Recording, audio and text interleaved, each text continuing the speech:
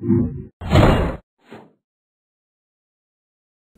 geometric series is what happens when we sum a geometric sequence. Okay, a sequence is a series of numbers. The sum is those all added up together.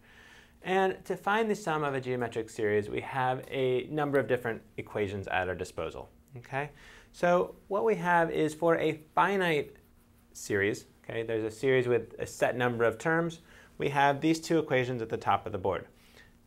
Oops, and I have misread them, written them. This should be a, sub 1. Sorry about that. So what we have is the first term times 1 minus r to the n over 1 minus r.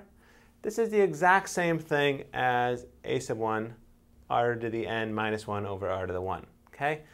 These are opposite statements. If you switch one of these, you switch the other. Negative ones cancel. So either one of these is perfectly fine. Okay?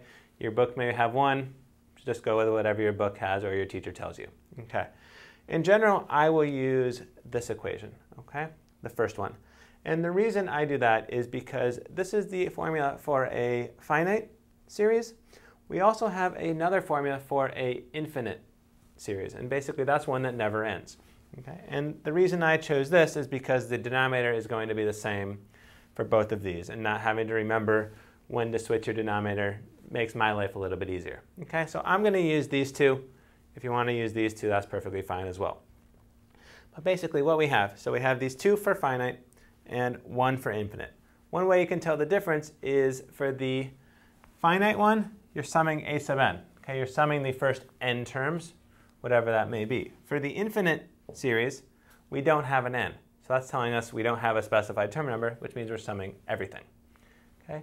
There is one restriction, though, that we have to have when we are summing a infinite series. And that is that our absolute value of our rate has to be less than 1. Okay?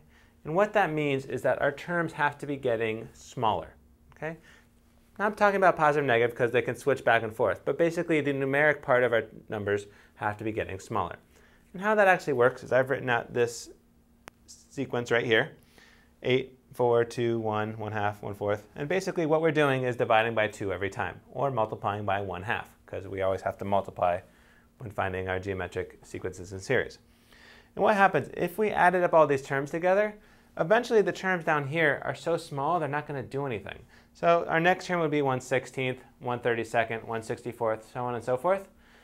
Eventually those numbers, when we're dealing with whole numbers, aren't going to make a difference. Okay? We add 1 one thousandths to a number we already have, it's not going to make a difference.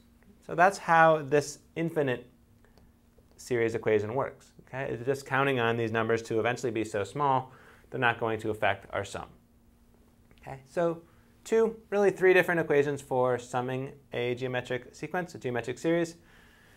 Pick two of, or sorry, pick one of these two, and then you have to remember this one as well. We have our finite and our infinite.